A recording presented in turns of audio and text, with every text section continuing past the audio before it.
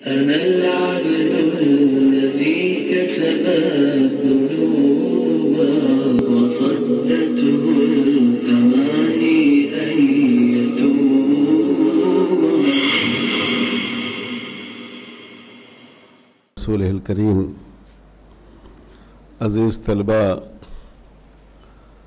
जैसा कि आप उनवान से वाकिफ़ हैं इस दूसरे महाजरा का मौजू फ़िक़ुल अक़लियात है। आपको आम तौर पर फ़िक़ की किताबों में इस नाम से कोई बाब नहीं मिलता होगा। दारुल इस्लाम और दारुल कुफ्र में अहकाम का जो फ़र्क है वो तो जा बजा आपको नज़र आएगा। मामलात के बाब में भी, अहवाल शख्सिया के बाब में भी शेयर के बाब में भी, और भी बाज़ दूसरे अबाब में। लेकिन एक कौम होंगे तो जो लोग दूसरे मुल्क में रहते हैं वह दूसरी कौम हुए।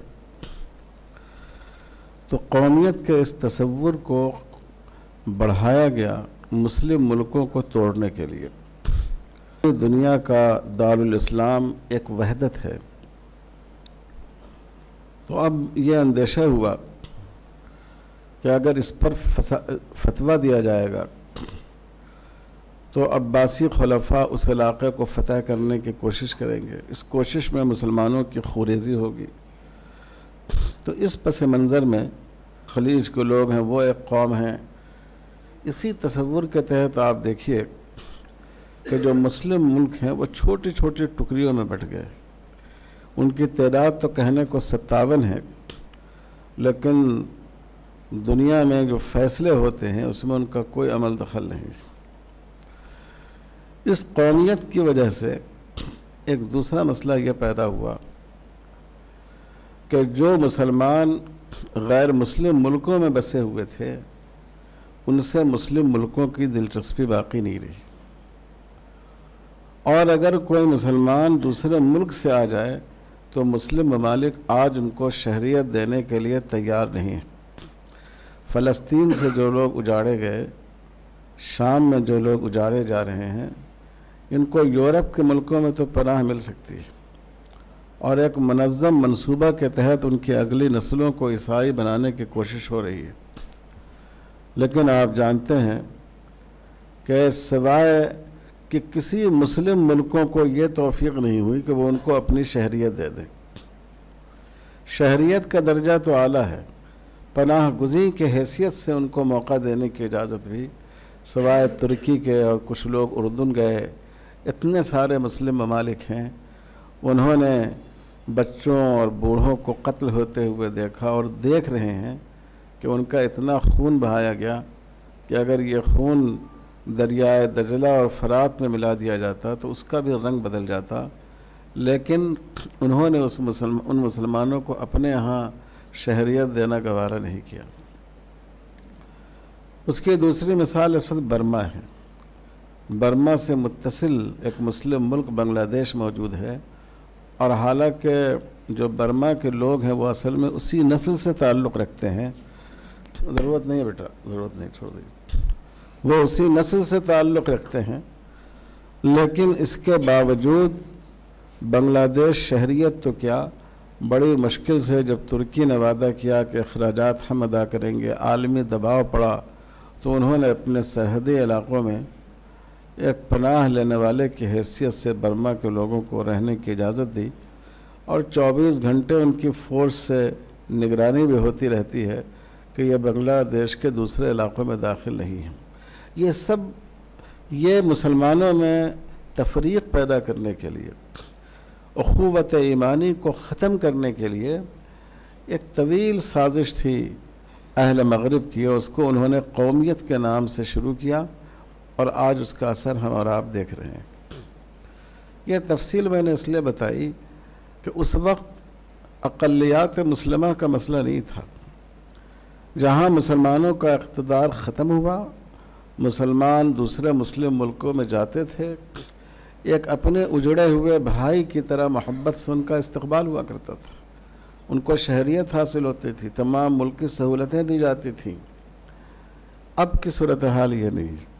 अब की सूरत हाल यह है कि बाज़ गैर मुस्लिम मुल्क तो आपको पनाह दे देंगे। लेकिन जो मुसलमान ममालिक हैं, जो अरब ममालिक हैं इनमें किसी मुसलमान को, अजनबी शहरी को, उनको शहरीत मिलना बहुत मुश्किल है। अमेरिका की शहरीत आदमी हासिल कर सकता है, लेकिन सऊदी अरब की शहरीत हासिल करना, जन्नत का टिकट हासिल करने की तरह दुशवार है। इसकी वजह से आज दुनिया में 50 फ़ीसद मुसलमान, बल्कि बाज़ लोगों के अंदाजे के मुताबिक 50 फ़ीसद से भी ज़्यादा मुसलमान अक़लियत की हैसियत से ज़िंदगी गुजार रहे हैं। सबसे बड़ी मुस्लिम अक़लियत हिंदुस्तान में है, उसके बाद चाइना में है, लेकिन उसके बाद रूस में भी है, और अफ्रीकी ममालिक में है, यूरोपियन ममालिक में हैं, और हर जगह की मुस्लिम अक़लियतों के मसाइल अलग हैं। देखिए, जब कोई मुल्क ऐसा हो जिसमें आप इकतदार में हो तो मुल्क का निज़ाम और सिस्टम आपके हाथ में होता है। आप अपनी मर्ज़ी के मुताबिक निज़ाम बना सकते हैं। और जब ऐसे मुल्क में हो, जब इकतदार आपके हाथ में न हो तो आप कोई सिस्टम बना नहीं सकते हैं। बने बनाए सिस्टम का हिस्सा बनने पर आप मजबूर हैं। आप खुद कोई निज़ाम नहीं बना सकते। जो निज़ाम पहले से बना हुआ है, ज़्यादा से ज़्यादा अब आप उस निज़ाम का हिस्सा बन सकते हैं। तो इसीलिए दारुल इस्लाम और दारुल कुफ्र के अहकाम में फ़ुक़ा ने फ़र्क किया। और इसीलिए आज की दुनिया में जो मुस्लिम अक्सरियत है और जो मुस्लिम अक़लियत है, उनके मसाइल यकसा नहीं हैं, उनके मसाइल में ख़ासा फ़र्क है। इसीलिए ने मुस्तकिल एक उनवान अख्तियार किया फ़िक़ुलक़लियात का। मशहूर दाई और आलिम फ़कीह। अगरचे उनकी बाज़ आरा से हम लोगों को अख्तलाफ भी है। शेख यूसुफ़ करजावी उनकी किताब इस मौजू पर है। और अब बहुत से अरब की किताब इस मौजू पर आ गई है। तो ये इसका पस मंज़र ये है फ़िक़ुलक़लियात का कि इस दौर में चूँकि मुस्लिम अक़लियतें इनकी बहुत बड़ी तादाद हो गई। इस बुनियाद पर और उनके मसाइल उन मुल्कों से मुख्तलिफ़ हैं जहाँ मुसलमान अक्सरियत में हैं। इसलिए उनके मखसूस मसाइल को फ़िक़ुलक़लियात कहा जाता है। अब ये जो बहस है इसको सबसे पहले तो एक तमहीद आपके सामने पेश करनी है। वो तमहीद दो नकात पर मुश्तमिल है। पहला नुक्ता यह है कि हम ये समझते हैं कि दीन इस्लाम बरहक है। कुरान अल्लाह की किताब बरहक है। जनाब मोहम्मद रसूलुल्लाह सल्लल्लाहु की लाई हुई शरीयत ही हक है। इसके अलावा जितने अदियान हैं वो सब बातिल हैं। इसे हम, यह हमारा अकीदा है। लेकिन हम उस बातिल के वजूद को भी मानते हैं। है वो बातिल। लेकिन इस्लाम कहता है कि तुमको उनका भी वजूद है। ऐसा नहीं है कि हमारा जो मुखालिफ हो उसका वजूद ही नहीं है। जैसे आप देखिए, बाज़ ममालिक ऐसे होते हैं, आपस में लड़ाइयाँ हैं। हिंदुस्तान, पाकिस्तान में आपस में टकराव है, तसादम है, लेकिन दोनों ने एक दूसरे के वजूद को तस्लीम किया है। इस वजूद को तस्लीम करने की वजह से एक दूसरे की जो तस्लीम शुदा सरहदें हैं, उनका एहतराम करते हैं। तो दूसरे फरीक को के वजूद को तस्लीम करने की भी बड़ी अहमियत होती है। जब आप दूसरे के वजूद को तस्लीम करते हैं, तभी आप किसी माहदे का फ़रीक उनको बना सकते हैं। तो देखो, अल्लाह ताला ने इरशाद फरमाया लकुल्लिन जालना मिनकुम शिरतों व मिनहाजा वलो शाह अल्लाह लजालकुम उम्मतम वाहिदा अल्लाह चाहते तो तुम सबको एक ही उम्मत बना देते उम्मत बनती है ईमान और अकीदे की बुनियाद पर अल्लाह चाहते तो सबको मुसलमान बना देते सब ईमान से सरफराज हो जाते वलाकिन लबलुवकुम फ़ीमा आताकुम लेकिन अल्लाह का जो दीन इस ज़मीन पर भेजा गया है, इसके बारे में अल्लाह ताला तुम्हारा इम्तहान लेना चाहते हैं। कि तुमको इख्तियार है अपने तौर पर एक बात को कबूल करने और न करने का तो तुम किस हद तक हक़ को कबूल करते हो और बातिल से अपने आप को बचाते हो? फ़स तबकुल खैरात मरजुकुम जमिया फ़ैनबकुम बमाकुन तुम फ़ी तख्तलफून।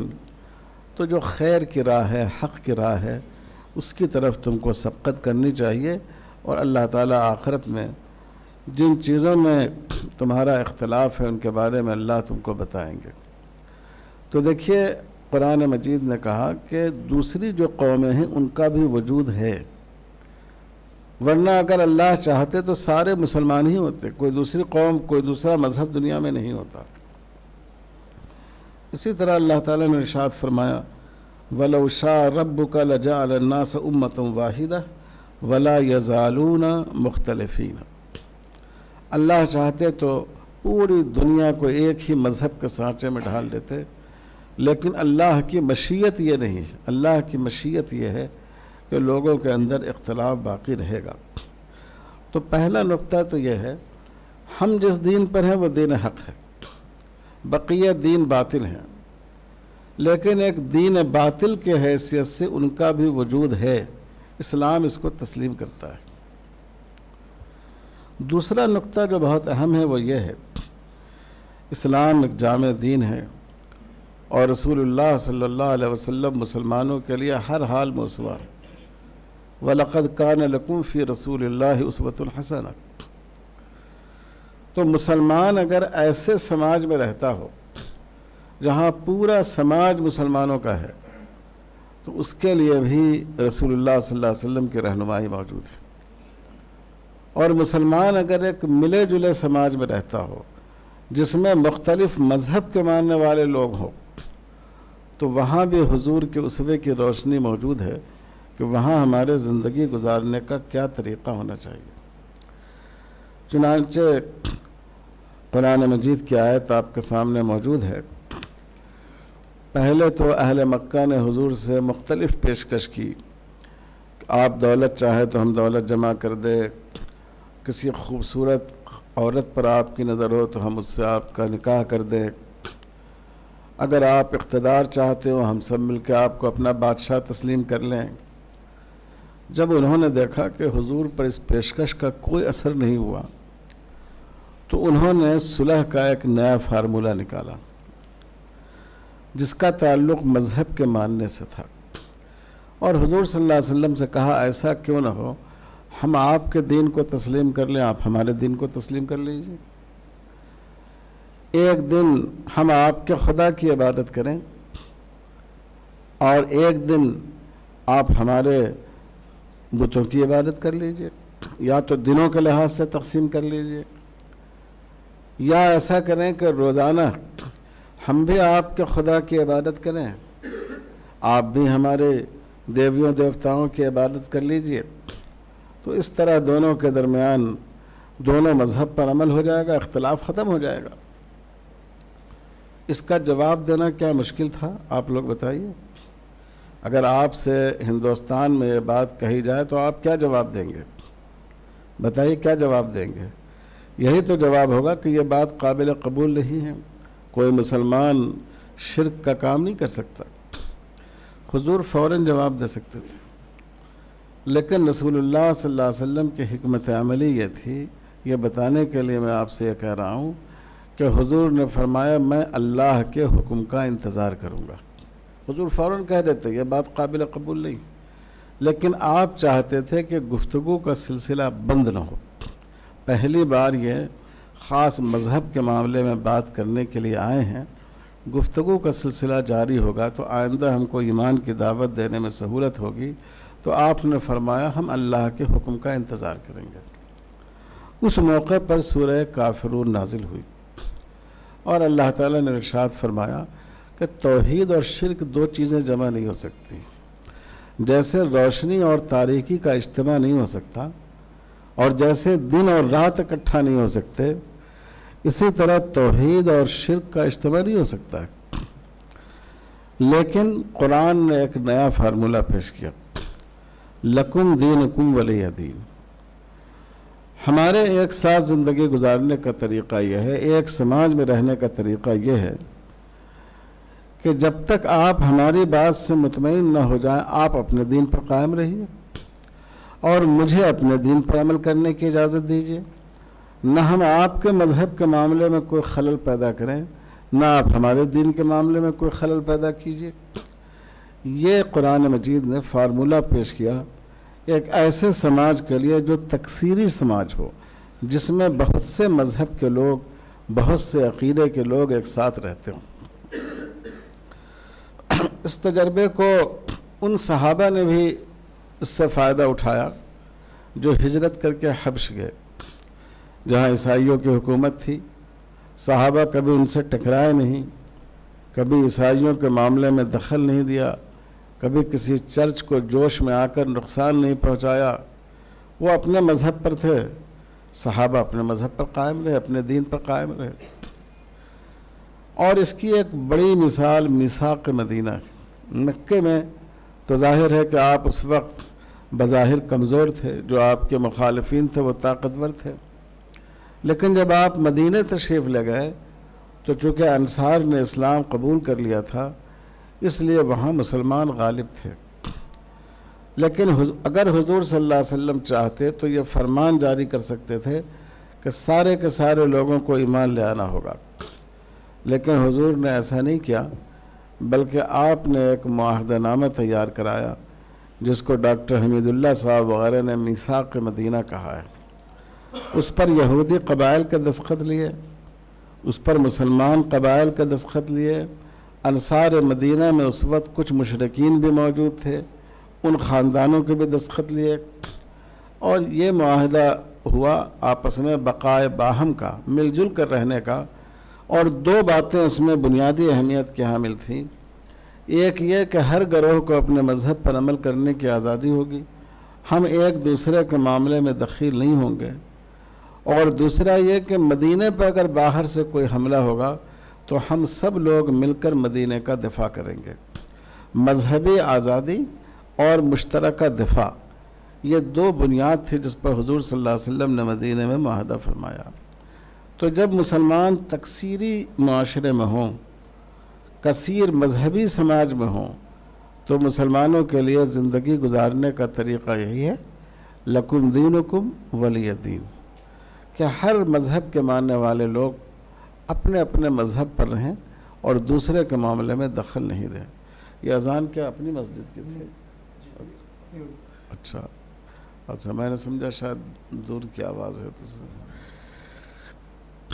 तो ये दूसरी बुनियादी बात है कि इस्लाम ने दूसरे मज़ाहिब को अगरचे हम बातिल समझते हैं, लेकिन हम उनके वजूद को मानते हैं। और नंबर दो, जहाँ कई मज़हब के मानने वाले लोग हैं, हम ये समझते हैं कि हर एक का हक़ है कि वो अपने ईमान और यकीन के मुताबिक अपने मज़हब पर अमल करे। हम उनके मामले में दखल नहीं देंगे, वो हमारे मामले में दखल नहीं देंगे। हमारे फ़क़हा ने इसका इतना लिहाज रखा कि आपने हिदाय में पढ़ा होगा कि हमारे फ़क़हा ने लिखा, अलखमर कल खल लना। हमारे लिए शराब की इजाज़त नहीं है, उनके लिए इजाज़त है। उनके लिए शराब ऐसे ही है जैसे हमारे लिए सिरका है। और अलखनज़ीर लहम का शातिलना हमारे लिए खनज़ीर की इजाज़त नहीं है नजसलैन है। लेकिन अगर उनके मज़हब में उसकी इजाज़त है, हम नहीं रोक सकते। जैसे कि हम बकरे खाते हैं, बकरे का गोश्त खाते हैं। यहाँ तक हमारे फ़क़ा ने लिखा कि अगर किसी कौम में, किसी गरोह में, जैसे आतिश परस्तों और मजूसियों के यहाँ था कि लोग अपने महरम रिश्तेदारों से भी निकाह किया करते थे, बहन से, बेटी से भी निकाह किया करते थे, हमारे फ़क़ा ने लिखा कि अगर उनके मज़हब में अपने महरम से भी निकाह की इजाज़त हो और वो उस पर अमल करें तो जब तक वो उस मज़हब में हैं, हम उनके मामले में दखल नहीं देंगे। हम दो ही सूरतों में दखल देंगे। या तो उनमें कोई फरीक मुसलमान हो जाए, या वो दोनों फरीक अपना मामला लेकर हमारे काजी के पास आएँ कि आप अपनी शरीयत के मुताबिक हमारा फ़ैसला कर दीजिए। वरना हम उनके मामले में कोई दखल नहीं देंगे। आज हिंदुस्तान में मुसलमानों के पर्सनल को बदलने की कोशिश की जाती है, लेकिन मुसलमानों ने हज़ारों साल हुकूमत की और कभी गैर मुस्लिम अक़लियतों के पर्सनल को तब्दील करने की कोशिश नहीं की। यहाँ तक कि हिंदुस्तान में मुस्लिम दौर हुकूमत में, सिवाय सिटी के ालमाना कानून के, जिसमें बीवी को शौहर की मौत के बाद उसकी लाश के साथ जला दिया जाता था सिवाय इस एक कानून के, किसी कानून के मामले में मुसलमानों ने दखल नहीं दिया। तो इसलिए ये इस्लाम का तस्वुर है। एक तीसरा असूल इसमें और है, जो इसमें लिखा हुआ है, कदर मुश्तरक, कुल या अहल किताब ताल कलमतिन सवाइन बैनना व बैनकुम। जब हम एक कसीर मजहबी समाज में हों तो कुरान हमारी बाबू, अभी फ़ोन मत करो, अभी। उनको मना कीजिए फ़ोन। जब हम एक कसीर मजहबी समाज में हों तो उस वक्त हमें कदर मुश्तरक तलाश करनी चाहिए। और उसमें हमें दूसरे मज़हब के साथ के लोगों के साथ मिलकर काम करना चाहिए। मिसाल के तौर पर हमारे मुल्क में तमाम मज़हब के लोग नशाबंदी चाहते हैं। हम उनके साथ मिलकर नशाबंदी की जद्दोजहद करें। आज लड़कियाँ माँ की कोख में मार दी जाती हैं। अगर स्क्रीन में ये बात आई कि बेटी है, लोग उसका अबॉर्शन करा देते हैं, इसकात करा देते हैं, हर मज़हब में इसको बुरा समझा जाता है। तो बेशुमार चीज़ें ऐसी हैं जो तमाम मज़ाहब के दरमियान मुश्तरक हैं। तो जब हम एक कसीर मजहबी माशरे में हों तो ऐसी मुश्तरक बातों में, ऐसे मुश्तरक एजेंडे में हम दूसरी कौमों को, दूसरे मज़हब के लोगों को अपने साथ जमा करें। ये तीन बुनियादी बातें हैं कि इस्लाम दूसरे मज़ाहब के वजूद को तस्लीम करता है। इस्लाम कसीर मजहबी माशरे में ज़िंदगी गुजारने का ये असूल बताता है कि हर मज़हब के लोग अपने मज़हब पर अमल करने में आज़ाद होंगे, दूसरे के मामले में दखल नहीं देंगे। इस्लाम ये चाहता है कि जहाँ मजहबी अख्तलाफ हो, वहाँ कदर मुश्तरक तलाश की जाए और उस कदर मुश्तरक के मुताबिक में हम एक दूसरे के साथ शरीक होकर काम करें, ये तमहीदी बातें हैं। अब हम उन मसाइल की तरफ़ आते हैं जो मसाइल मुस्लिम अक़लियतों को फ़िकी नुक़ नज़र से पेश आते हैं। उसमें एक तो सियासी मसाइल हैं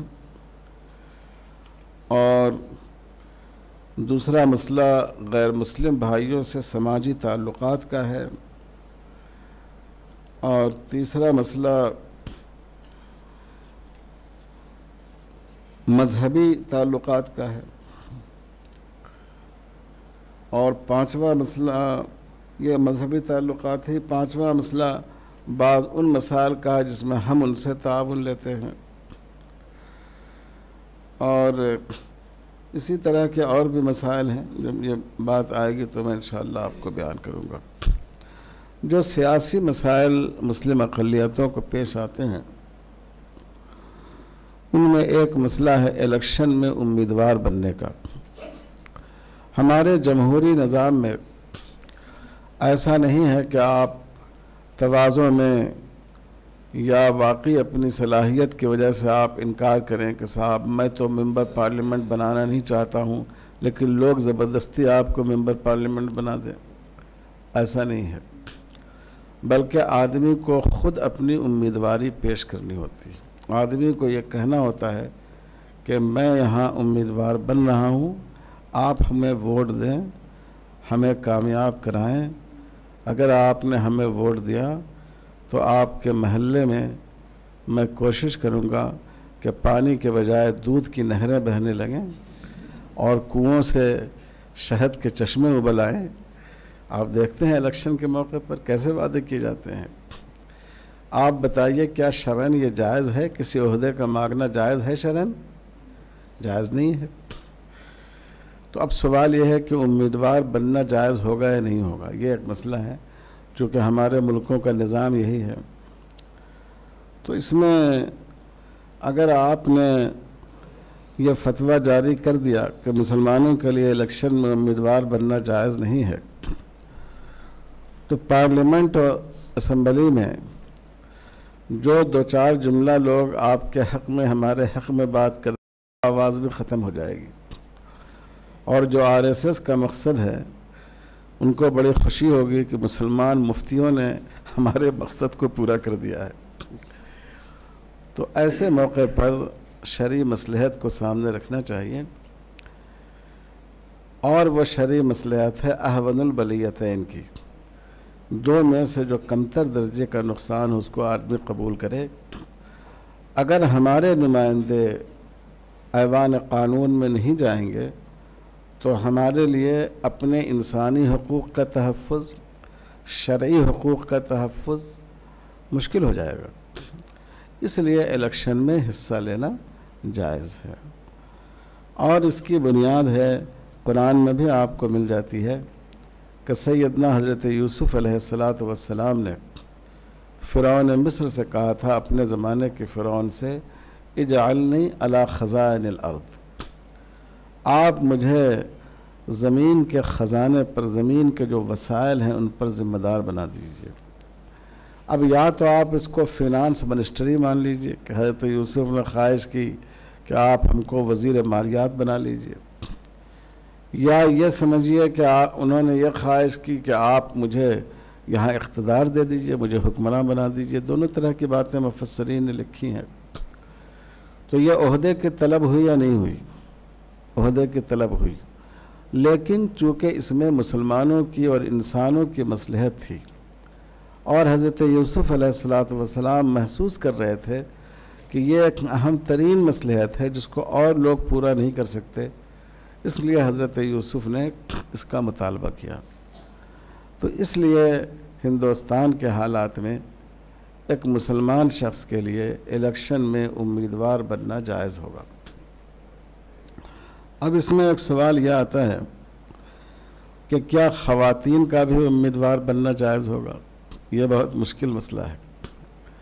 अभी मैं गुलबर्गा गया था तो वहाँ कुछ मौलवी हजरात मुझसे मिले कि फ़लाँ बड़े लीडर थे जिनका इंतकाल हो गया, उनका बड़ा असर रसूख था।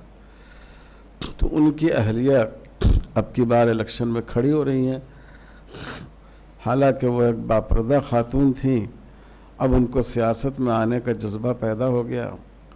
और लोगों का ख्याल है कि उस नस्बत की वजह से जो पहले मकबूल लीडर से थी वो कामयाब भी हो जाएँगी।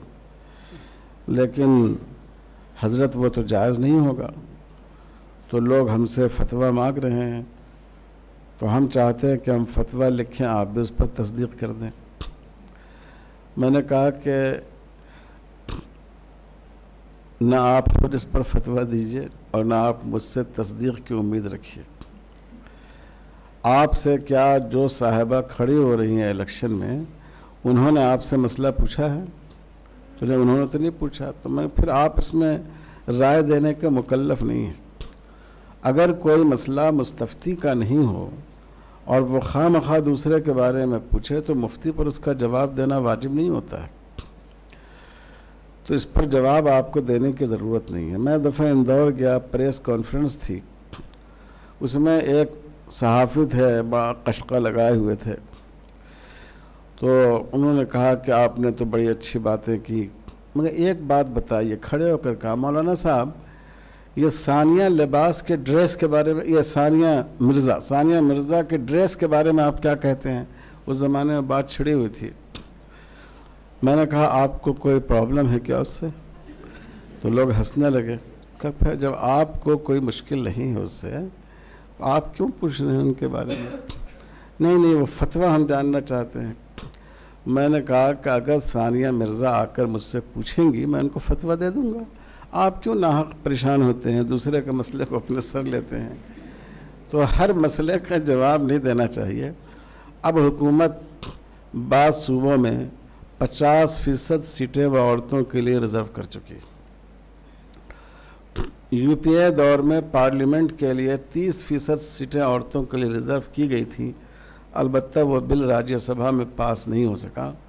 लेकिन इसका इम्कान है कि 2019 तक मौजूदा हुकूमत ख़वातीन की हिमायत हासिल करने के लिए पार्लियामेंट में रिजर्वेशन का बिल पास करा ले।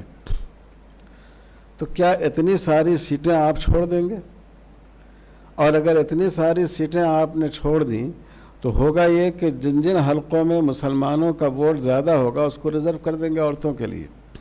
आपकी कोई नुमाइंदगी नहीं होगी।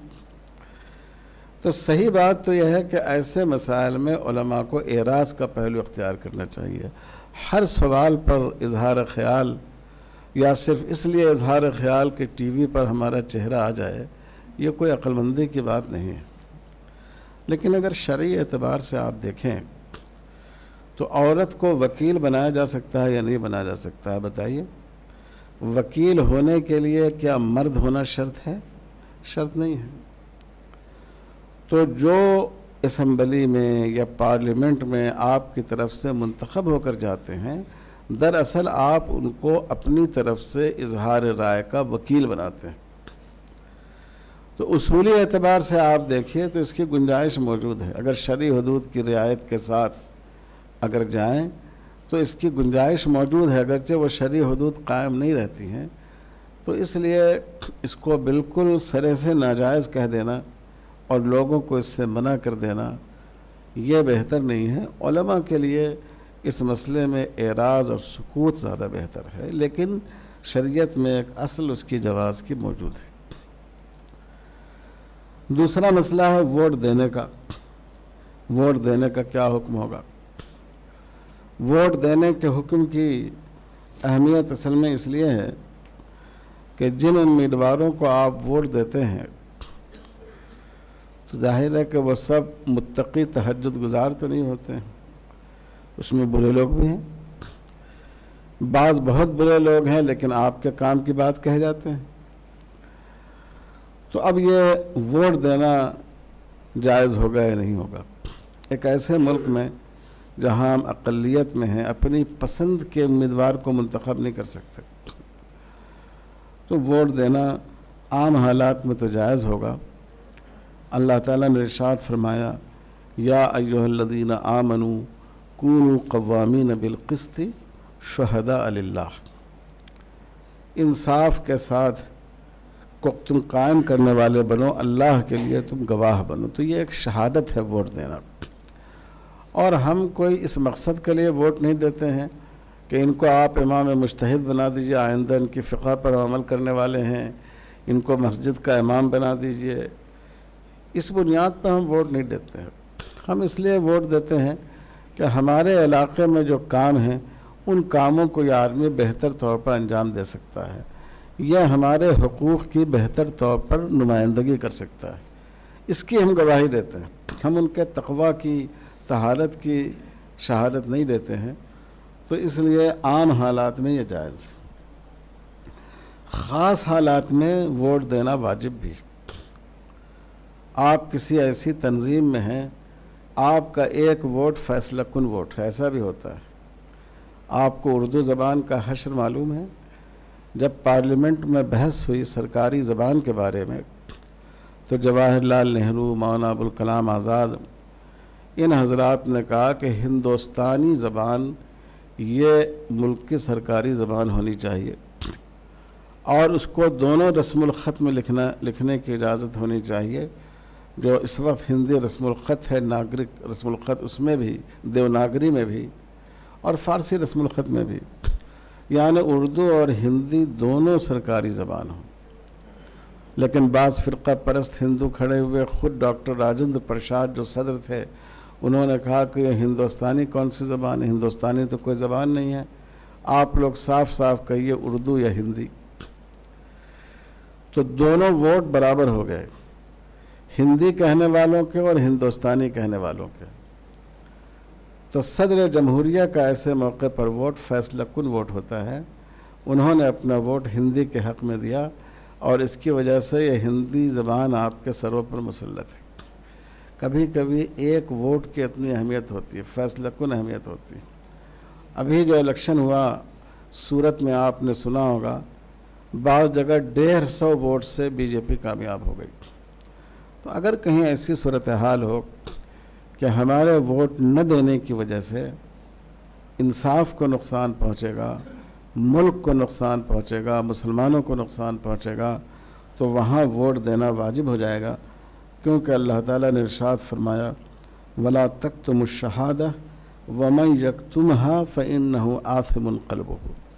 कितमान शहादत जायज़ नहीं है।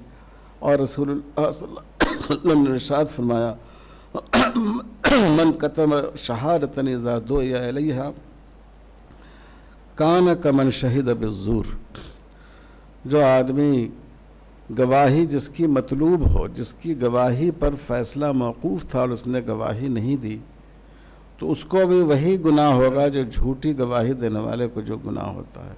और फ़क़ा ने भी हमारे लिखा है कि अगर किसी केस में आप ही की गवाही पर इंसाफ मौकूफ़ है तो आपके लिए गवाही देना शरण वाजिब है, वरना आप गुनहगार होंगे। अब यहाँ फिर वही मसला आ जाता है कि औरतों को वोट देने की इजाज़त होगी या नहीं होगी। तो औरतों को वोट देने की इजाज़त होगी। इसलिए कि वोट के ज़रिए आप गवाही देते हैं और औरत गवाह बन सकती है या नहीं बन सकती है। कुछ ख़ास मुकदमात के अलावा, हदूद व कसास के बकिया मुकदमात में औरत गवाह बन सकती है।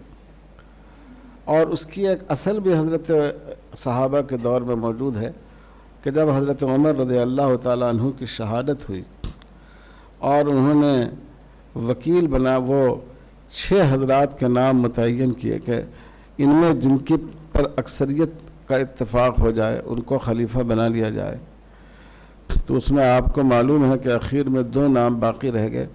हज़रत अली करम अल्लाह तजहू और हज़रत उस्मान गनी रज़ी अल्लाह तु का। और हज़रत अब्दुलरहमान इबन औफ गोया, वो इलेक्शन कमिश्नर एक तरह से करार पाए। तो हज़रत अब्दुलरहमान इबन औफ ने घरों में जाकर पर्दा, नशी ख़वातीन से भी पर्दे से मालूम किया। सीरत की किताबों में यह बात मौजूद है कि किसको वोट देना चाहेंगे, किसके, किसको आप खलीफा बनाना चाहेंगे।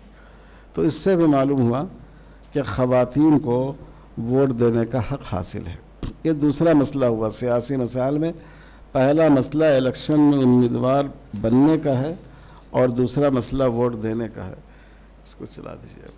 इधर वाला चलाइएगा तो आवाज़ कम होगी। तीसरा मसला यह है कि अब जैसे हमारा मुल्क है और दूसरे मुल्कों में भी ये सूरत हाल है, अभी श्रीलंका के हालात आपके सामने हैं। कि बहुत सी फ़िरका परस्त ालिम क़वतें सियासत के मैदान में उतरी हुई हैं।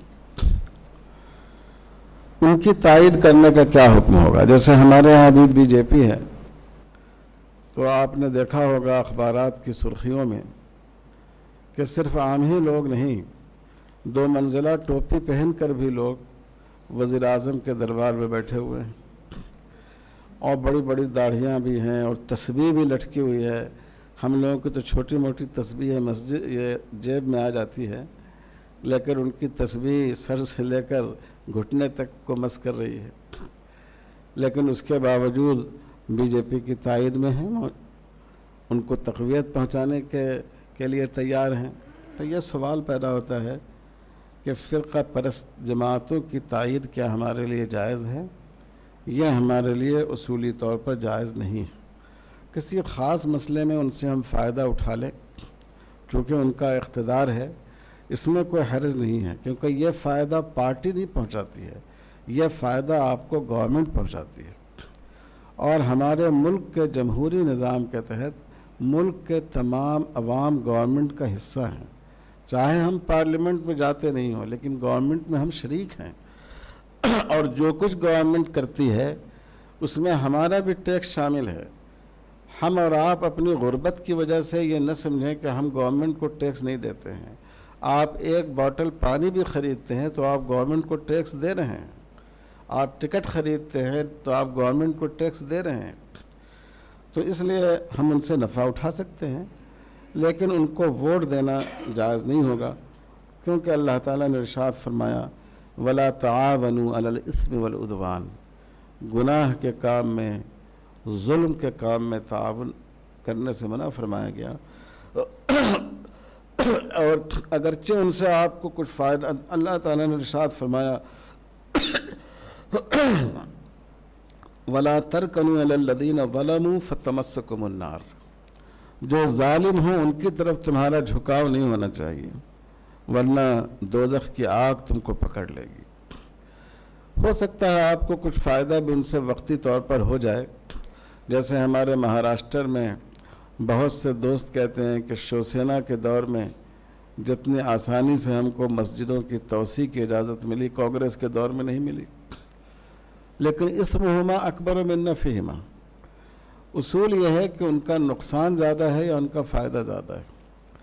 तो जो पार्टियाँ फ़िरका परस्ती की बुनियाद पर कायम हैं, उनका नुकसान उनके नफ़े से ज़्यादा है। आजकल हमारे बाद अच्छे खासे कायदीन ये कहते हैं कि भाई कांग्रेस ने भी तो इतना नुकसान पहुँचाया। तो एक दफ़ा बीजेपी को भी हम आजमा लें बीजेपी अगर नुकसान पहुँचा रही है तो क्या नई बात है? एक बात जहन में रखनी चाहिए। कांग्रेस पार्टी के दौर में मुसलमानों के जान माल को नुकसान पहुँचा। हमारे दस्तूरी तहफ़ को नुकसान नहीं पहुँचाया गया। ये जो मौजूदा बरसर इकतदार पार्टी है, ये मुसलमानों के दस्तूरी तहफ़ को नुकसान पहुंचाना चाहती है। ये चाहती है कि सेकुलरिज्म की तारीफ़ बदल दी जाए। ये चाहती है कि दस्तूर के दफ़ा 25 में जिस मजहबी आज़ादी का ज़िक्र आया है उस मजहबी आज़ादी को नमाज़ रोज़े तक महदूद कर दिया जाए। ये चाहती है कि मस्जिद के तहफ़ के कानून को बदल दिया जाए। तो इसलिए हमें यह बात जहन में रखनी चाहिए कि इसमहुमा अकबर में नफ़ीमा जहाँ दो सूरत हाल दरपेश है, वहाँ आपको ये देखना होगा कि इनमें से नस्बता कौन सी चीज़ हमारे लिए ज़्यादा मुफीद हो सकती है। सैदना हज़रत उमर फ़ारूक रद अल्लाह तु से लोगों ने पूछा लो, वो इम्तहान भी लिया करते थे अपने रफ़ा का। तो पूछा बताओ इल्म किसको कहते हैं? तो बाज़ हजरात ने कहा मारफतुल खैर मन शर। शर के मुकाबले में खैर को जानने का नाम इल्म है। तो हज़रत उमर ने फरमाया कि ये कोई ख़ास बात नहीं हुई। भाई, एक चीज़ अच्छी है और एक चीज़ बुरी है तो हर आदमी अच्छी चीज़ का इंतखब करेगा। अगर आपके सामने एक तरफ़ बिरयानी रख दी गई और एक तरफ़ सादा चावल रख दिया गया तो हर हाथ सिवाय इसके मरीज़ और बिरयानी की तरफ़ बढ़ेगा। हज़रत उमर ने फरमाया, इल्म नाम है मारफत खैर शर्रैन। जहाँ दोनों तरफ़ शर है, उस शर में नस्बता कौन सा ज़्यादा काबिल कबूल है? इसकी मार्फत इसको समझने का नाम इल्म। तो इस वक्त हिंदुस्तान में मुसलमान इसी सूरत हाल से दो चार हैं कि उनमें मारफत खैर शर्रैन की सलाहियत हो। कोई सियासी पार्टी ऐसी नहीं हो ऐसी नहीं है जो आखिरत के लिए, अल्लाह की रज़ा के लिए आपकी मदद करे। उनको इससे कोई ताल्लुक़ नहीं है। लेकिन देखना है कि अपने असूल के अतबार से, नज़रिए के अतबार से इनमें कौन से लोग हैं जो नस्बता हमारे लिए मुफीद हो सकते हैं? सियासी मसाइल में चौथा मसला है कि क्या गैर मुस्लिम पार्टियों से हम माहदे कर सकते हैं? मुसलमान कर सकते हैं। क्योंकि हुजूर सल्लल्लाहु अलैहि वसल्लम ने गैर मुस्लिमों से माहदे किए हैं। मिसाक मदीना की मिसाल अभी आपके सामने आ गई। आपको मालूम है कि नबूवत से पहले रसूलुल्लाह सल्लल्लाहु अलैहि वसल्लम की हयात तय्यबा में एक वाक़ हिल्फुल फजूल का पेश आया था, जिसका मकसद था मज़लूमों की ालिमों के मुकाबले में मदद, मज़लूमों को उनका हक दिलाना। यह वाक़ तो नबूत से पहले का है, लेकिन नबी बनाए जाने के बाद भी हुजूर अलैहि वसल्लम का तरीक़ार ये था। आपने इरशाद फरमाया, हिल्फुल फजूल के तारीफ़ करते हुए, लो दोई तो एलई ही लजबतुल आन। आज भी अगर मुझे इस माहदे की तरफ़ दावत दी जाए तो मैं इस दावत पर लब्बैक कहूँगा। ये बात हजूर ने मदनी ज़िंदगी में फरमाई है। इससे मालूम यह हुआ कि इस्लाम में ऐसे माहदे को काबिल तारीफ़ समझा गया है, गैर मुस्लिम भाइयों के साथ, जिसका मकसद इंसाफ का और अमन अमान को कायम रखना इसी तरह आपको मालूम है, सुलह हुदैबिया के बाद मुसलमानों का माहदा बनु खुजा से हुआ था। वह आपके हलीफ बने थे। और फ़तह मक्का के बाद रसूलुल्लाह सल्लल्लाहु अलैहि वसल्लम ने सफ़वान इब्न उमैया से हथियार हासिल किया था, जंगी मदद हासिल की थी। यह भी एक तरह का माहदा था। तो इससे मालूम यह हुआ कि गैर मुस्लिम अफराद या गैर मुस्लिम गरोह या गैर मुस्लिम बरदरी या गैर मुस्लिम पार्टियों से मुसलमान अपने मफाद के लिए, इंसाफ को कायम करने के लिए और इंसानियत के मफाद के लिए माहदे कर सकते हैं। नंबर पाँच। पार्लियामेंट का जब आदमी रुकन बनता है तो रुकन बनने के बाद उसको बहुत से गैर शरी कवानीन भी पार्लियामेंट बनाती है। ऐसा नहीं है कि पार्लियामेंट आपके यहाँ से फतवा पूछ के कानून बनाए। बहुत से कवानीन बनाती है। आजकल तो बाज़ कवानीन बहुत ही ख़राब हैं। हमारा कानून शराब पीने की इजाज़त देता है। हमारा कानून बग़ैर कानूनी निकाह के बालिग मर्द औरत को एक दूसरे के साथ रहने की इजाज़त देता है। यहाँ तक कि हमारा कानून एक जिन्स की अपनी ही जिन्स से निकाह की इजाज़त देता है। अभी आपने सुना होगा कि सुप्रीम कोर्ट का फैसला आया है कि कत्ल बजज़ब रहम की इजाज़त है। कोई आदमी खुद मरना चाहे या उसके वरसा महसूस करें कि इसकी ज़िंदगी इसके लिए बोझ हो गई है तो उसको मारने की इजाज़त है।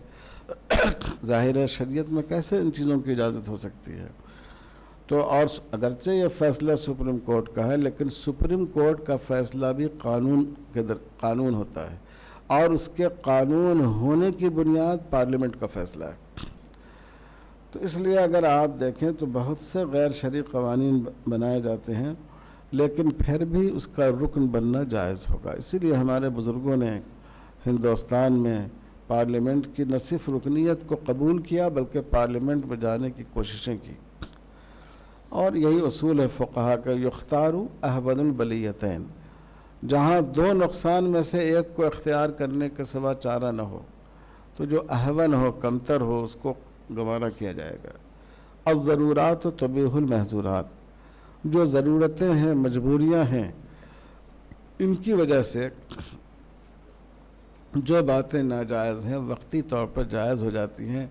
जैसे कुरान में आप थे इसतरार पढ़ते हैं फ़मन गैर बाग वला आद हुजूर अलैहि वसल्लम मदीने जाने से पहले आपने कबायली निज़ाम से फ़ायदा उठाया ज़माने जाहलीत में कोई गवर्नमेंट नहीं थी कोई पुलिस स्टेशन नहीं था कोई कोर्ट नहीं था हर कबीले के लोग अपने कबीले का तहफ़ करते थे बनु हाशिम आप पर ईमान नहीं लाए थे सवाए चंद हजरात के, हज़रत अली रदी अल्लाह तु के और एक दो हजरात बनु हाशिम में से मुसलमान हुए थे मक्की ज़िंदगी में।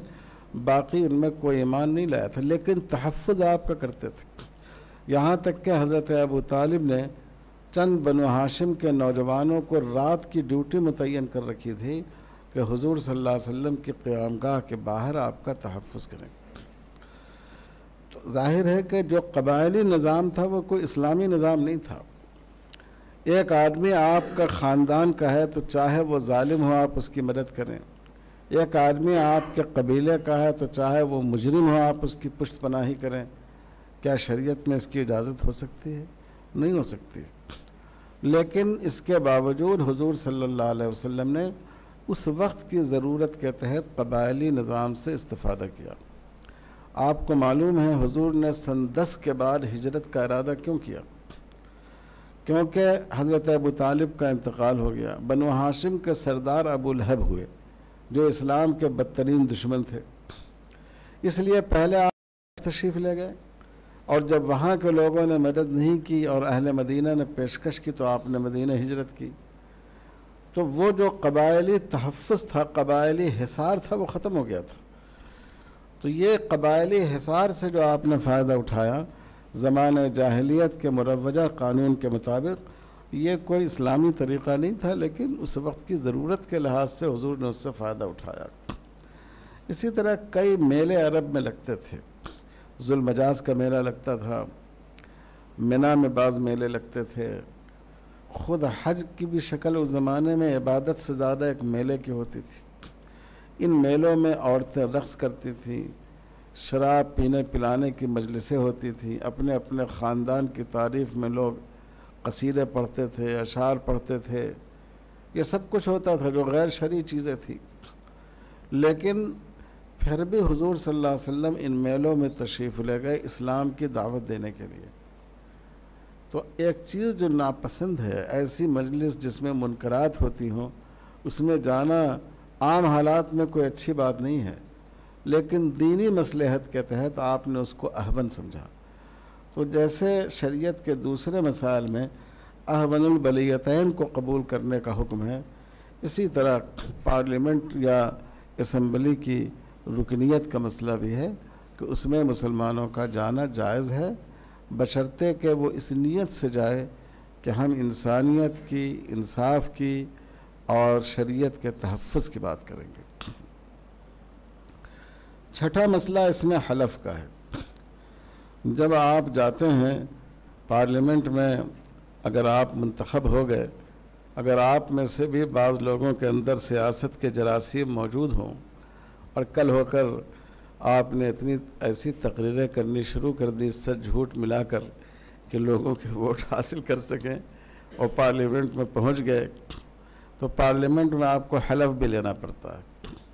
आपको दस्तूर का हलफ लेना पड़ता है।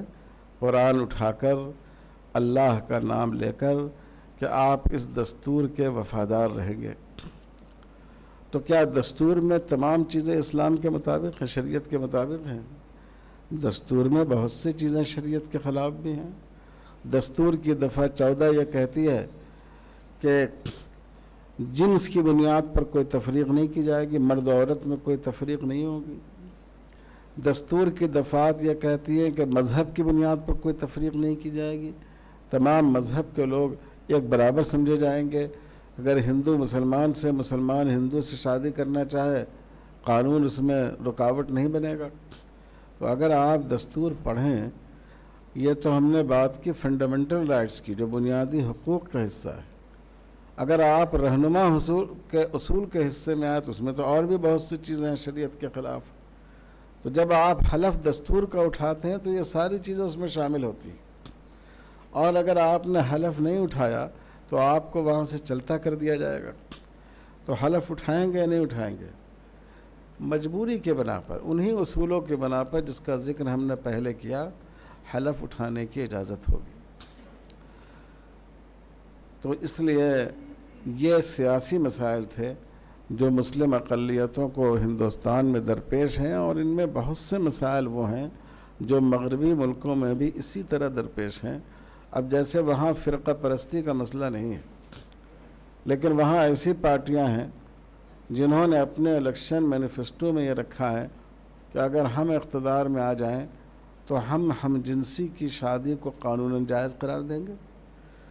तो ज़ाहिर है कि यह भी शरीयत के ये तो ऐसी चीज़ है जिससे अल्लाह ने बास कौमों पर अजाब आया है। तो हर जगह यही उसूल चलेगा कि हम अहवनबलीतैन के बारे में हम फैसला करेंगे।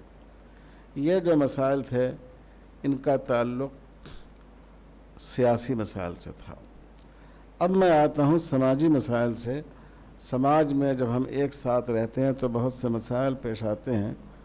उसमें पहला मसला तो सलाम का है। आपने पढ़ा है कि बाज़ फ़ुकहा तो ये कहते हैं कि सलाम इब्तदान भी करना जायज़ नहीं है और जवाब में भी गैर मुस्लिम को सलाम कहना जायज़ नहीं है। और बाज़ फ़ुका ये कहते हैं कि इब्तदान सलाम करना जायज़ नहीं है, लेकिन कोई आदमी अगर आपको सलाम कर दे तो वालेकुम आप कह सकते हैं। अब इस वक्त हिंदुस्तान की फ़िज़ा ये है। पहले हम लोग अपने बचपन में कोई गैर मुस्लिम बुज़ुर्ग मिले तो हम लोग कहते थे, आदाब है।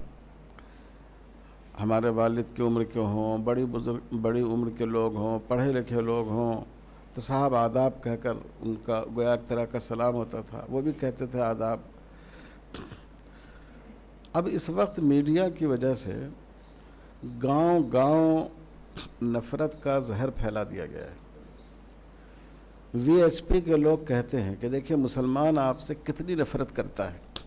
अगर आप किसी मुसलमान साथी के साथ बैठे हुए हों तो जब कोई मुसलमान आएगा तो मुसलमान साथी को तो सलाम करेगा, आपको सलाम नहीं करेगा, आपको कहेगा आदाब।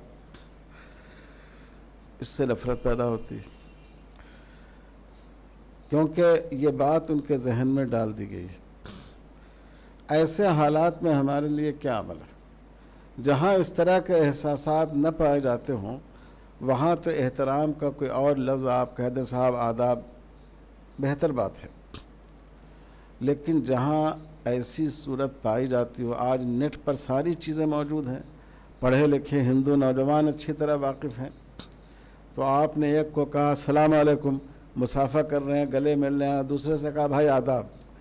तो वो समझता है कि देखिए, हमारे साथ कितना इन्होंने इम्तियाज़ का सलूक किया है। तो इसमें जो रास्ते हैं वो मैं आपको बताता हूँ। इमाम अवज़ाई रहमत हमारे फ़क़ा में उनका नुक़ नज़र ये है कि गैर मुस्लिम को सलाम भी किया जा सकता है और सलाम का जवाब भी दिया जा सकता है। और उनकी दलील है कि हज़रत इब्राहीम सलाम ने जो अपने वालिद से कहा था सलाम का का रब्बी। सलाम करते हुए कहा कि मैं बहरहाल जा रहा हूँ, लेकिन अपने रब से आपके लिए ज़रूर मैं मफ़रत की दुआ करूँगा। तो हज़रत इब्राहीम ने अपने काफिर वालिद, बल्कि अगर आप अकफर वालिद कह दें तो गलत नहीं होगा, जिन्होंने अपने बेटे का भी कोई ख्याल नहीं किया, उनको सलाम कर रहे हैं। ये इमाम अवज़ाई की दलील है। और इमाम अवज़ाई रहमत ला फरमाते हैं कि हदीस में जहाँ सलाम करने के ममानत है, अगर आप गौर से देखें तो ये मदीने में हुजूर ने यह हुक्म फरमाया, इसका ताल्लुक़ असल में यहूदियों से और इसकी बुनियाद वही है जो हदीस की किताबों में आपने पढ़ा कि यहूद असल में कहते थे अस्साम का और इस अंदाज से कहते थे कि आपको सुनने में महसूस हो असलकुम इसीलिए हजूर ने फरमाया कि इसका जवाब कह दो वालेकुम। हज़रत आयशा की रिवायत है कि एक यहूदी ने ऐसा कहा, हजूर ने कहा, वालेकुम। हज़रत आयशा ने अर्ज़ किया, अल्लाह के रसूल, आपने सुना नहीं, उसने क्या कहा? आपने फरमाया कि तुम मेरा जवाब मेरे जवाब पर भी गौर कर लो, हमने उसकी बात उसी पर लौटा दी, वालेकुम कह दिया। तो वो कहते हैं, इमाम वज़ाई रहमत कि ये एक ख़ास पस मंज़र में ये हुक्म है। हर गैर मुस्लिम के लिए ये हुक्म नहीं है। पता नहीं आप लोग उसको कहीं मेरी बात को गलत नहीं समझे। मुझे इमाम वज़ाई की इस बात में माकूलियत मालूम होती है। लेकिन हम आपके लिए एक दूसरा रास्ता निकालते हैं। अगर आपको कहीं गैर मुस्लिम भाई को कहें आप, अस्सलाम वालेकुम वरहमतुल्लाह, और आप सलाम से मुराद लें, कुफ्र से सलामती, अल्लाह तुमको कुफ्र से सलामती अता फरमा दे। और रहमत से आप मुराद लें हिदायत, क्योंकि सबसे बड़ी रहमत अल्लाह की हिदायत है कि अल्लाह की हिदायत तुमको हासिल हो जाए। तो गैर मुस्लिमों के लिए कुफ्र से सलामती और हिदायत की दुआ की जा सकती है, नहीं की जा सकती है? की जा सकती है। तो ये एक रास्ता आपके लिए उस कौल के दायरे में रहते हुए भी मौजूद है। और हमने इसको अपने एक किताब में लिखा है फ़िक्र दावा में, लेकिन बाद में हमने अपने उस्ताद हज़रत मौलाना मुफ्ती महमूद हसन साहब रहमत के फतवे में बेनी ये बात देखी कि उन्होंने लिखा है कि असलकुम कहा जाए और उसमें दो दोजख से सलामती, कुफ्र से सलामती के माना मुराद लिए जाए। तो अगर आप ये माना मुराद ले लें तो इसकी गुंजाइश है क्योंकि हमारे मुल्क में इस वक्त इस तरह नफ़रत फैला दी गई है और नफ़रत का मवाद लोगों तक पहुँचा दिया गया है कि बहुत सी बातें जो फ़ुकहा ने किताबों में लिखी हैं, वो किताबें, वो बातें लोगों के इल्म में हैं, उनके सामने मौजूद हैं। एक मसला। दूसरा मसला, जुलूस से जनाजे में शिरकत का मसला है।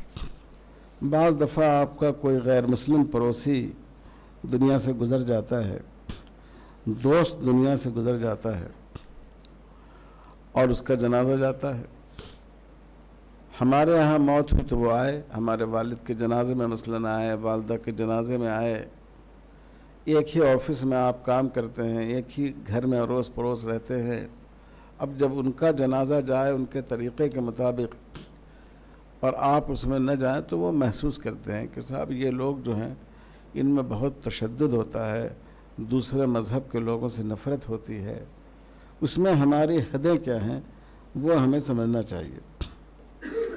उसमें हमारी हद यह है कि देखिए, गैर मुस्लिमों के लिए ईसाल सवाब तो जायज़ नहीं है। गैर मुस्लिमों पर नमाज़ जनाजा तो जायज़ नहीं है। कुफ्र पर जिसकी मौत हुई हो, उसके लिए इस्तफ़ार दुआ मगफ़रत की गुंजाइश तो नहीं है। अगले इसमें मौजूद है असलात काफिरी व दुआ लहू बिलमफ़रती हरामुन बेनसल क़ुरानी वल इजमाई। ये शरह महज़ब में इमाम नबी रमत की इबारत है कि काफिर पर नमाज़, उसके लिए दुआ मगफ़रत, ये बिल्कुल हराम है। कुरान से भी साबित है, जैसा कहत इब्राहीम के वाक़े में है, और इजमा से भी साबित है, हदीस से भी साबित है। लेकिन यहाँ मसला सिर्फ़ जुलूस जनाजा में शिरकत है। इस शिरकत का मकसद मरने वाले को फ़ायदा पहुँचाना नहीं है। इस शिरकत का मकसद जो उसकी मौत से जो लोग मुतासर हुए हैं, उनकी दिलदारी, ये मकसूद है। तो इसमें एक गुंजाइश निकलती है, रसूलुल्लाह सल्लल्लाहु अलैहि वसल्लम, हज़रत अबू तालिब की वफ़ात के मौके पर। कई रवायतें हैं मुसनफ़ अब्दुलरज़ाक़ की रवायत में यह है कि आप उनकी कब्र तक तशरीफ़ ले गए। उनको उतारने में तो आप शरीक नहीं रहे, वो तो हज़रत अली रद अल्लाह तु ने किया। और हज़रत अबू तालिब के साहबजादों ने किया, लेकिन आप कब्र तक तशरीफ़ ले गए। और बाद रवायतों में यह भी है कि कुछ कलम खैर भी कहा, जो एहसानात हज़रत अबू तालिब के आप पर थे, उसको भी आपने अपनी ज़बान से ज़िक्र किया। इस्तफ़ार नहीं फरमाया, लेकिन उनके एहसानात का भी कुछ ज़िक्र किया आपने। इसी तरह मुसनफ़ अब्दुलरज़ाक़ में इस तरह के बहुत से आसार सहाबा हैं कि हारिसिब ने अभी रबिया इनकी वालदा ईसाई थी। उसमें कई सहाबा ने उनके साथ लाश को ले जाते वक्त शिरकत की, उनकी रियायत करते हुए। इसी तरह हज़रत अबू वायल की वालदा जो ईसाई थी, उनका इंतकाल हुआ। तो हज़रत उमर रद अल्लाह से उन्होंने मशवरा किया कि वालदा तो हमारी मुसलमान नहीं थी। तो हज़रत उमर ने फरमाया कि तुम उनके जनाजे में जा सकते हो अलबत् तुम आगे जाओ, पीछे मत रहो, जनाजे से आगे रहो। हज़रत अब्दुल्ला इबन उमर रदी अल्लाह तु से एक शख्स ने मसला पूछा तो हज़रत अब्दुल्ला इबन उमर ने भी इजाज़त दी। और भी बहुत से आसार सहाबा हैं कि जिसमें यह बात इसका ज़िक्र है कि सिर्फ़ जनाजे में जाने की हद तक, जिसका मकसद मुर्दे को सवाब पहुंचाना नहीं हो, जिसका मकसद जो पसमादगान हो, उनकी दिलदारी और तसल्ली हो, इसकी गुंजाइश हमारे यहाँ है। तीसरा मसला है मजहबी चढ़ावे का। हालाँकि मुझे पहले इसमें खैर, चलिए आगे करेंगे। तीसरा मसला इसमें आ गया है मजहबी चढ़ावे का। मजहबी बुनियाद पर जो चीज़ चढ़ाई जाती है उसमें हमारे लिए शिरकत की इजाज़त होगी या नहीं होगी? या उससे फ़ायदा उठाना, उसका खाना हलाल होगा या नहीं होगा? गैर मुस्लिमों के यहाँ भी कुर्बानी होती है। बकरे ज़बा करते हैं। यहाँ तक के बाज़ मंदिरों में गाय की कुर्बानी होती है, बैल की कुर्बानी होती है। तो उसके सिलसिले में तो ज़ाहिर है कि उसूल है कि उसका खाना जायज़ नहीं होगा। यहाँ तक कि अगर मंदिर में कोई जानवर ज़बह किया गया और अल्लाह का नाम लेकर ज़बह किया गया, बिस्मिल्लाह के साथ ज़बह किया गया तो बाज़ फ़ुका कहते हैं कि वो जायज़ है, क्योंकि ज़बह पर नाम लिया गया अल्लाह ताला का और बाज़ फ़ुका कहते हैं कि वो भी जायज़ नहीं है। और मैं भी समझता हूँ कि वो भी जायज़ नहीं होना चाहिए, क्योंकि कुरान ने दो अलग अलग सूरतें बयान की हैं माहिल बहिल गैर जिस पर गैरुल्लाह का नाम लिया जाए, ये एक सूरत है हरमत की, कि अल्लाह के नाम के बजाय गैरुल्लाह का नाम लिया गया हो।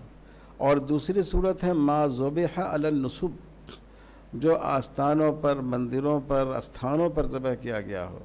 इसमें अल्लाह का नाम लेने का ज़िक्र नहीं है। तो चूँकि इस, ये जो कुर्बानी होती है, जानवर ज़बह किया जाता है, वो गैरुल्लाह की तोक़ीर व तकदीस के लिए होता है। तो चाहे चाहे कोई मुसलमान कस्साब वहाँ अल्लाह का नाम लेकर उस जानवर को ज़बह करे, फिर भी वह हलाल नहीं होगा।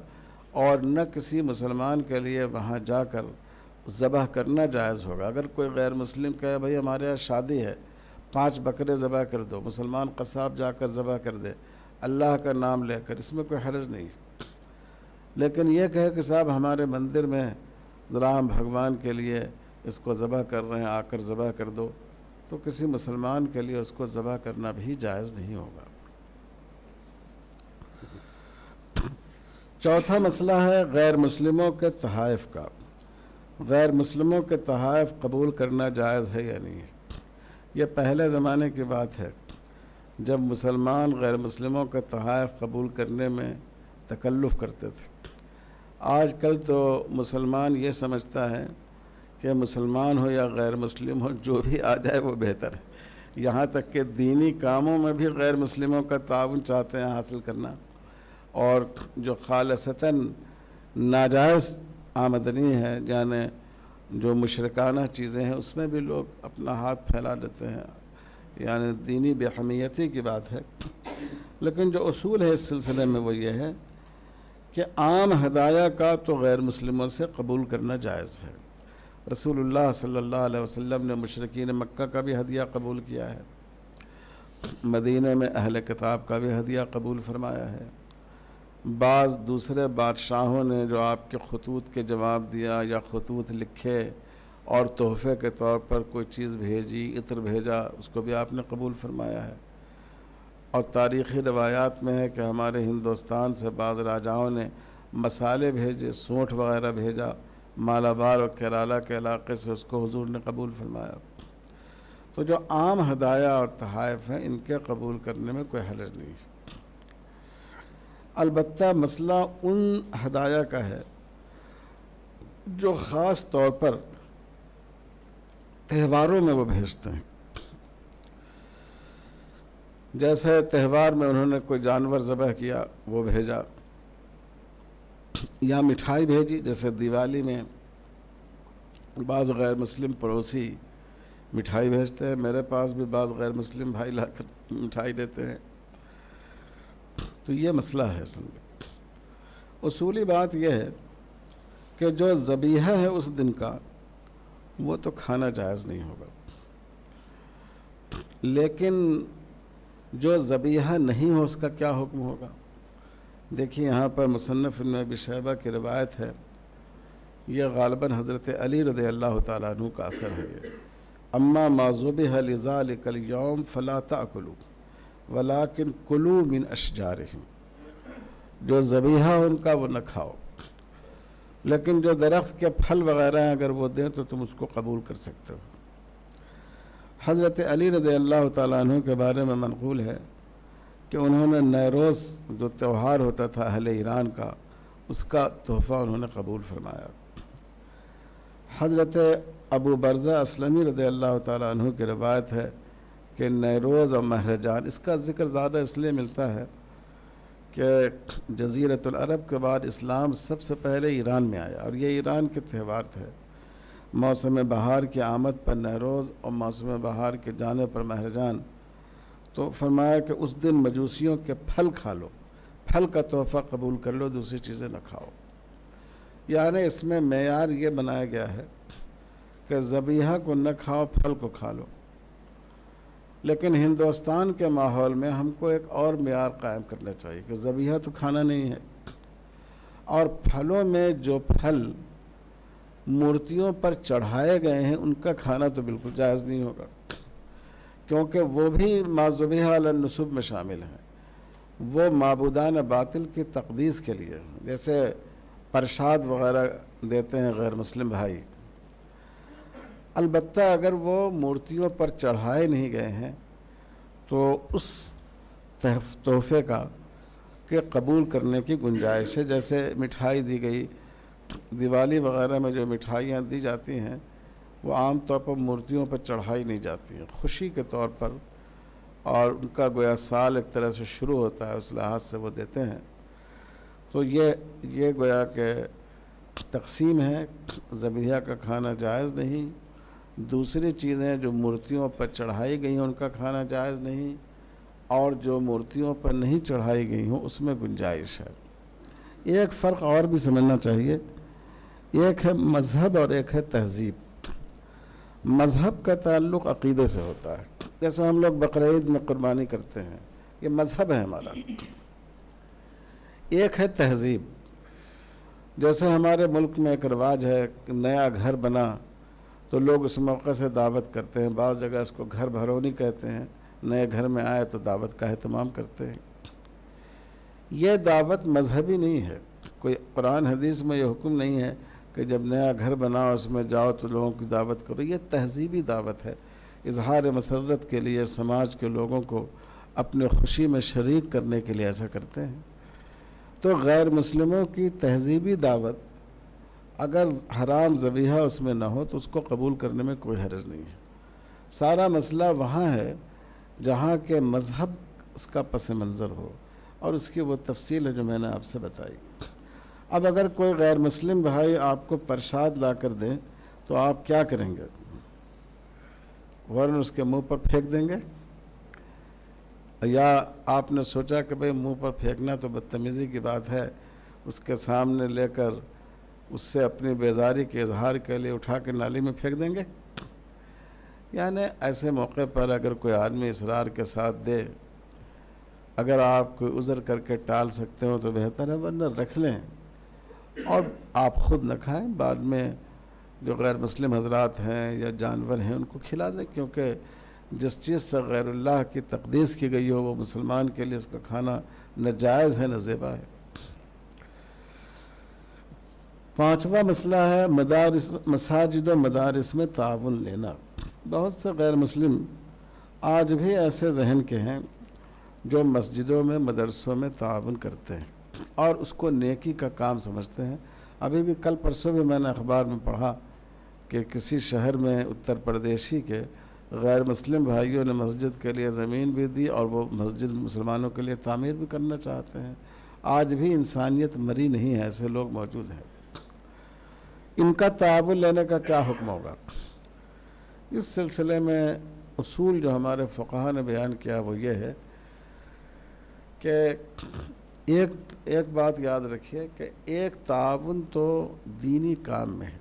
एक गैर मुस्लिम ने मदरसे में ताउन किया, कहा साहब ये हमारा पैसा है, हमारी ख्वाहिश है कि हम बच्चों को खाना खिलाएँ, आप 500 बच्चों को मेरी तरफ़ से खाना खिला दीजिए। इसमें कोई हर नहीं है। ये तो ज़ियाफ़त है ये ज़ियाफ़त जायज़। या किसी गैर मुस्लिम ने आकर कहा, भाई जुमा में इतने लोग जमा होते हैं, मुझे बड़ा अच्छा लगता है। आज हमारी तरफ़ से आप उनके लिए मसलन शरबत का इंतज़ाम कर दीजिए, नाश्ते का इंतज़ाम कर दीजिए। इसमें कोई हर्ज नहीं है ये ज़ियाफ़त है। लेकिन मस्जिद की तामीर में ताउन, मदरसे की तामीर में ताउन, ये गैर मुस्लिम का कबूल करना जायज़ है या नहीं? इमाम की तनख्वाह में उनका ताउन, मिसाल के तौर पर यह जायज़ है या नहीं है? इस सिलसिले में फ़ुका ने जो असूल बयान किया वो ये है कि अगर उस अमल को वो की का काम समझते हैं, पुनः का काम समझते हो तो ताउन कबूल करना जायज़ है। और अगर वो उसको नेकी का काम नहीं समझते हो तो फिर वो ताउन जायज़ नहीं है। इस पर फ़ुका ने तफरी की है कि जैसे अहल किताब है, यहूदी हैं, अगर वो बैतुलमक़दस के लिए ताउन करें, वक्फ़ करें तो उनका वक्फ़ मोतबर होगा। काबतुल्लाह के लिए वक्फ़ करें तो वक्फ़ मोतबर नहीं होगा। क्योंकि बैतुलमक़दस यहूद व नसारा के यहाँ भी मुक़दस है, और उसकी खिदमत उनके यहाँ कार सवाब है। और काबतुल्लाह ये उनके यहाँ कार सवाब नहीं है, इसको वो नहीं मानते।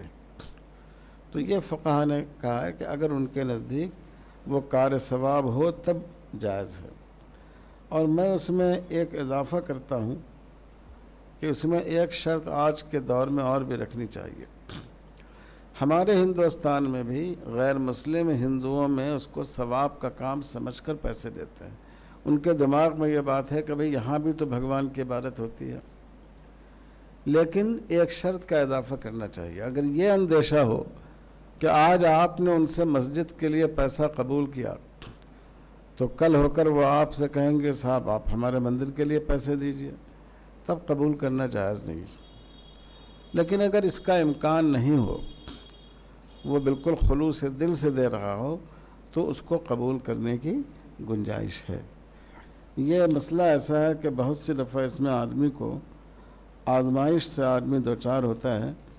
मैं हैदराबाद में जहाँ जुमा में कुछ बयान करता हूँ, वो मेरे घर से तकरीबन दस बारह किलो, दस किलोमीटर तो होगा। अब वो जो गणेश त्यौहार का ज़माना होता है, उसमें नौजवान जगह जगह खड़े हो जाते हैं पैसे के लिए। अब वो गाड़ी रोकते हैं। साहब, ये गणेश के लिए दीजिए। अब अगर हम उसमें पैसे नहीं दें तो शायद वो कोई ज़्यादती नहीं करें, मगर वो बराबर उनके दिल में ये बात आती है कि मुसलमान बड़े कट्टर होते हैं दूसरों को, को बिल्कुल अहमियत नहीं देते।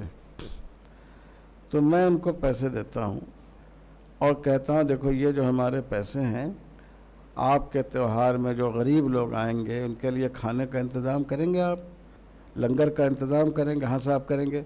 हम कहा ये पैसा आप उसमें लगा लीजिएगा गरीबों को खिला दीजिएगा। तो बराह रास्त बजाय इसके कि हम त्यौहार के लिए पैसा दें इस तरह एराज का रा, रास्ता अख्तियार कर लीजिए तो उनको बुरा भी नहीं मालूम होता। खुश होते हैं कि साहब देखिए मौलवी साहब हैं फिर भी उन्होंने पैसा दे दिया। और आपने मूर्ति के लिए पैसा नहीं दिया आपने गरीबों को खिलाने के लिए दिया। और गैर मुस्लिमों के साथ बिरहसान जायज़ है।